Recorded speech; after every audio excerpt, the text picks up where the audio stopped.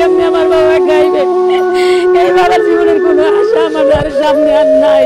যে বাবা আমার কেমনে চললে খাইবো আমি মৃত্যুর পরে সামনে কেমনে খাইবো এরকম কোনো আশা আমার বাবার কাছে আর আমি পাইতেছি না। যে কেমনে আমার বাবা চললে খাইবে আমার বাবার কেউ নাই। আমি ছাড়া আমার বাবার কেউ নাই। এখন যদি আপনার আমার বাবার মুখের দিকে তাকাই যে সবাই সাহায্য করেন, তা আপনার সাহায্যের জন্য আমার বাবা একটু চিকিৎসা করাইতে পারব, তাছাড়া আমার কেউ নাই। সাহায্য চালানোর মতো আপনি হচ্ছে সবাই আমার দয়া ধরেন। সবাইকে কাছে আমি দয়া চাইছি, সবার কাছে আমি ভিক্ষে চাইছি, আমার বাবার একটু ভিক্ষে সবাই দেন, আমার এই বাবার আমার এই বাবার আমি আমার বাবার কেউ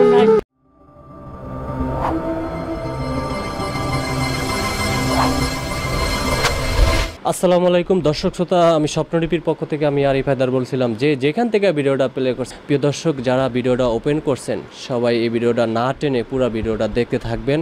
প্রিয় দর্শক ডিসপ্লেতে আপনারা একজন ভাই দেখতে পাচ্ছেন ইয়াং জেনারেশন আর পাশে যিনি বসে আছেন, এই ছেলেটির মা লাগে। তো ওই ছেলেটির হাতটা ভাঙা আছে, আর এই নিশ্চয়ই আপনারা পাউটি দেখতে পাচ্ছেন। এই যে সমস্ত ঘটনা কীভাবে হলো এই ভাইয়ের কাছ থেকে আমরা শুনব। প্রথমে এই ভাইরা আমরা একটু পরিচয় জানব। আসসালামু আলাইকুম। ওয়ালাইকুম আসসালাম। কি নাম আপনার? মোহাম্মদ মনির হোসেন। মনির হোসেন ভাই আপনার এই যে পা আর হাত এই কীভাবে হলো বলেন তো? এটা আমি গাড়ি অ্যাক্সিডেন্ট হয়েছি হিলি যাওয়া ধরছিলাম। পরে মনে করেন পিছের থেকে হানিফ বাসে ধাক্কা মারছে। পরে আমার গাড়ি ডাইন পাশে লোড করা ছিল। ডাইন পাশে লোড করা ছিল। ডাইন পাশে লোড করে পিছের বাম পাশ থেকে ধাক্কা মারছে। ধাক্কা মারছে আমার গাড়িটা ডাইনে পল্লি খাইছে। পল্লি খাইয়ে মনে করেন ওই যে সামনের থেকে সেনাবাহিনী ট্রাক এসে মারিয়ে দিয়েছে। ইট্টুর জন্য আমি বেঁচে গেছি। এই যে গাড়ির ট্রাকটার যে কেবিনটা কেবিনটা ইট্টুর জন্য মনে করেন বাইরে গেছে নাইলে আমি মারা যাইতাম। আপনার কি গাড়ি ছিল? আমার পিক ছিল। এটা কতদিন আগে ঘটনাটা ঘটেছিল? গেল মাসের ছয় তারিখে রাত সাড়ে তিনটা বাজে। আপনি কি ঢাকায় মুখী ছিলেন? জিনা দিনাজপুর হিলি বর্ডার দিকে ছিলাম। আপনি কি মাল নিয়ে যাচ্ছিলেন? সৌর বিদ্যুৎ কোম্পানি।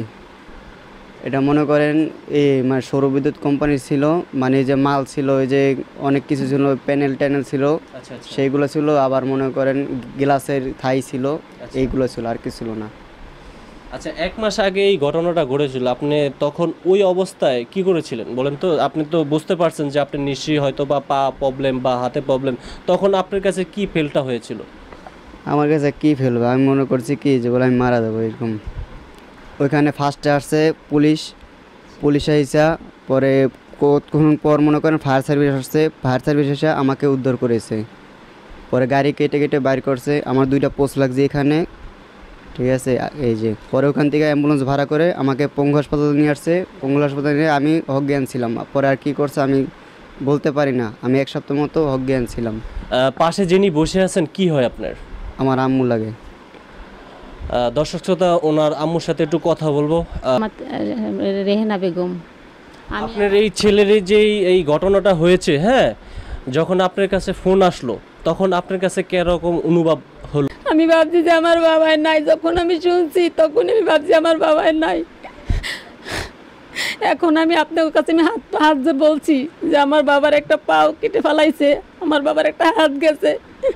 আপনার কাছে আমি হাত পাততে বললাম যে আমার বাবার সাহায্য করেন, আপনার দর্শক সবাই। আপনার কাছে আপনার আমার কিছু সাহায্য দেন, তাহলে আমার বাবার আমি চিকিৎসাটা চালাইতে পারি। নাহলে আমার চিকিৎসা চালানোর মতো কোনো ক্ষমতা নেই, আমার স্বামী নেই, এই বাবা, এই ছেলের বাবা নাই। আমি মা, আমার একটা মেয়ে আছে, কিন্তু আমার স্যার, আমার কেউ সাইডে কোনো লোক নাই। তো আপনার দর্শক যদি আমার যদি কিছু সাহায্য দেন, তাহলে আমার বাবার আমি চিকিৎসাটা চালাইতে পারি। কিন্তু আমার এরকম কোনো চিকিৎসা চালানোর কোনো লোক নাই। আমরা ঘরে বাইরে তিনজন, আমার মেয়ে আর ছেলে আর আমি, কিন্তু আমার কর্মস্থান কোনো লোক নাই। এখন যদি আপনারা আমার যদি এই ছেলের মুখের দিকে তাকাই, এই মায়ের মুখে তাকাই আপনারা সবাই সাহায্য করেন, তাহলে আমার ছেলের সাহায্যের আমি মানে চিকিৎসাটা আমি চালাইতে পারি। কিন্তু এরকম কোনো আমার আর চালানোর মতো কোনো ক্ষমতা নাই। আপনাকে এলাকাবাসী সবার কাছে আমি সাহায্য চাই। কিন্তু আপনারা যদি আমার মুখের দিক তাকাই আমার এই ছেলের দিকে তাকাই যদি একটু সাহায্য দেন তাহলে আমার ছেলে আচ্ছা আপনার এই দৈনিক কত টাকা খরচা হয়? আর হচ্ছে এই পর্যন্ত এখন যে পরিস্থিতি এখানে এই পর্যন্ত যে আসছে বাসায় আসা পর্যন্ত আপনাদের কীরকম টাকা খরচা হয়েছে? আমার দুই লাখের কা- উপরে গেছে। দুই লাখ দুই লাখ টাকা হ্যাঁ হ্যাঁ এখন বর্তমানে প্রতি সপ্তাহে তিন হাজার টাকার ওষুধ লাগে প্রতি সপ্তাহে। কিন্তু মানে সামনের দিক এখন যে অবস্থা সামনের দিকে আপনি কোনোভাবে আগাইতে পারছেন কোনোভাবে আগাইতে পারতেছে না। এই কারণে আপনার সবার দর্শকের কাছে আমি হাত জোর করছি যে আপনারা সবাই একটু আমার সাহায্য করেন। সাহায্য করলে আমার ছেলের মনে করেন যে একটু আমি চিকিৎসাটা আমার ভালো চালাইতে পারি নাহলে আমার এরকম কোনো অর্থ সম্পদ নেই আমার কোনো কিছুই নেই যে আমি সবার সাথে আমি হাত জোর করে বললাম। আপনার হাজবেন্ড মারা গেছে কত বছর আগে? পাঁচ বছর হয়ে গেছে। আচ্ছা দর্শক শ্রোতা আপনারা একটু গল্প শুনে শুনেছিলেন। দর্শক একজন বাবা হারা ছেলেটি এখন পর্যন্ত বিয়ে করে নেয় তো এই ছেলেটির অলরেডি কিন্তু লাইফটি শেষ হয়ে গেছে। যা তো একটা পাও নাই। আল্লাহই জানে এই হাতটার কি পরিস্থিতি, সেটা উপর আল্লাহ ভালো জানে। তবে এই পাওনিয়া কীভাবে সামনের দিকে আগাবে, সেটা আপনারা অবশ্যই কমেন্টস করে জানাবেন। দর্শক, শ্রোতা, আপনারা যদি এই ছেলেটিকে একটু সহযোগিতা করতে চান, দর্শক, এই ছেলেটির মা একজন মায়ের কান্না আহাজারি আপনারা নিশ্চয়ই এতক্ষণ যাবৎ দেখেছিলেন। দর্শক আপনারা যদি ওনাদের সাথে কেউ যোগাযোগ করতে চান বা কেউ যদি আপনারা সহযোগিতা করতে চান যদি আপনাদের কাছে ভালো লাগে তাহলে তাদের সাথে অবশ্যই আপনারা যোগাযোগ করে নেবেন। দর্শক ওনাদের কোনো মাধ্যম আছে কি না সেটা ওনাদের মুখ থেকে আমরা শুনব। আচ্ছা আপনাদের সাথে যদি কেউ যোগাযোগ করতে চায় কোনো মাধ্যম আছে? মানে হ্যাঁ ফোন নাম্বার আছে।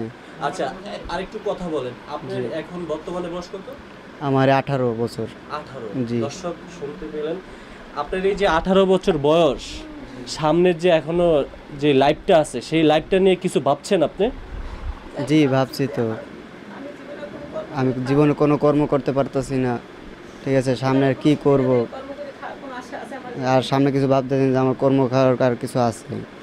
আচ্ছা আপনাদের সাথে যদি কেউ যোগাযোগ করতে চায় বা সহযোগিতা করতে চায়। সেই ফোন নাম্বার বলেছিলেন আপনার। এই ফোন নাম্বারটা কি আপনার মুখস্থ আছে? জি আছে। আচ্ছা ফোন নাম্বারটি বলে nine one nine seven one seven one seven zero. Seven zero. আবার বলেন। Zero one seven zero one seven zero five zero five one nine one nine seven one seven one seven zero. Seven zero. এটা কি বিকাশ? জি। দর্শক শ্রোতা already নাম্বারটি ডিসপ্লেতে আপনারা দেখতে পাচ্ছেন। যদি আপনাদের কোনো আহ, মায়াবাবত আসে তাহলে অবশ্যই তাদের সাথে আপনারা যোগাযোগ করে নেবেন। আপনারা আমার দর্শক মিললে আমার বাবারে বাঁচানোর ইচ্ছা থাকে আমার বাবারে আপনারা বাঁচাইতে পারেন। এছাড়া আর কেউ নাই আমার আপনারা যারা। আর আপনাদের কাছে একটাই অনুরোধ থাকবে সবাই একটু ভিডিওটা শেয়ার করে দিবেন। আর আপনাদের মূল্যবান মতামত জানাবেন কমেন্টস করে যে এই যে ভাই আঠারো বছর ছেলেটির সামনে যে একটা ভবিষ্যৎ লাইফ আছে, কি হবে তার? কি হবে তার? তো সবাই ভালো থাকবেন, সুস্থ থাকবেন। আজকের মতো আমি এখানেই বিদায় নিচ্ছি। আল্লাহ হাফেজ।